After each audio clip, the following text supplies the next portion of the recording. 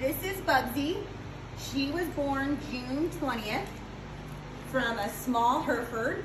I bought the Hereford from Webb Cattle Company. Um, she has potentially half Highlander. Um, I have the picture in the comments of, you know, which bull she could be bred to. It, it's a 50-50 shot, but they're both really great bulls from Webb Cattle Company. She's very, very sweet.